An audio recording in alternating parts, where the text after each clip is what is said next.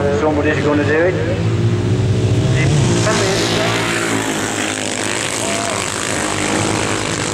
Carl Pope's in the lead, jumping over that fence. Where's he going? When Carl Pope's going up the middle of the fence, he just uh, look, he flies up at the top. Jim Shamlin is full control of that one, Carl Pope.